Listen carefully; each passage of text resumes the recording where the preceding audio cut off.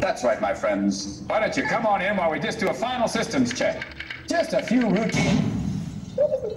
Hey, Bo! Hey, Bo! Hey, Bo! Don't worry. This is all part of the demonstration. Welcome! The reason I've gathered you here today is to witness the exploration of the next great frontier, courtesy of my own incredible time machine. Penny, off of all the paper that I love. Hey, timekeeper! What? What am I in here? Scrap metal? Come on, introduce me! Oh, pardon moi. I'd like you all to meet my assistant. She's bold, she's brassy, she's self-contained all the way from Cleveland, Ohio. Please welcome the self-programming circumvisual photo droid. Let's say hello to Nine-Eye. Okay, enough of this chit-chat. Let's get ready to break the time barrier. That's right, my friends. No longer are we limited to traveling from place to place and losing our bags beforehand.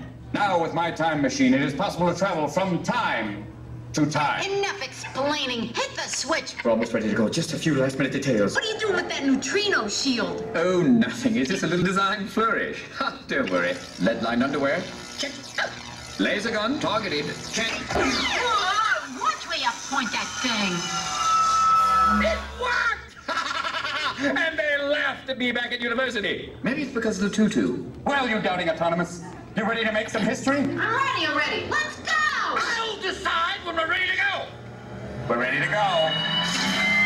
Nine-Eye. Nine nine. Can you hear me? Nine nine. I've lost that miserable little piece of metal. Hey, I heard that. Where am I? Don't worry, Nine-Eye. You're safe and sound in the um, Triassic period. I'm opening my eyes. I don't like what I see. Oh, no, you're too far back. These controls are so sexy. You here? Where's here? It's the future, Mr. Verne. I've got to send you back. No, wait. All my life, I dreamed of the future. You must let me see it. It is pretty wonderful. Maybe. No, I can't. No, I can't. Yes, I can. No, I can. No, I can. Yes, I can. No, I can't. Listen, you have a speech in ten minutes. Plenty of time. But I cannot guarantee your safety. We're not covered for this, really. I take my chances. I think you better go back. With Tinselhead here at the controls, you're gonna be French toast for breakfast. Listen, Blinky! I know exactly what I'm doing! Now, Monsieur Verne, tell me, what would you like to see? Everything. Way to go, Jules. Verne, I proudly show you the modern world! In ten minutes or less. Give or take a few seconds.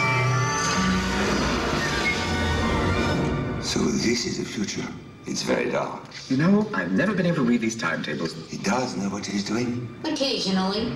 Uh-huh. Don't like that noise. That's not what I did. What happened? Where's Jules? Got him on the train. Didn't say inside. Picky, picky. Well, I'll move him in closer. Way to go, Tin Head. She turned Jules for an Oops, pardon.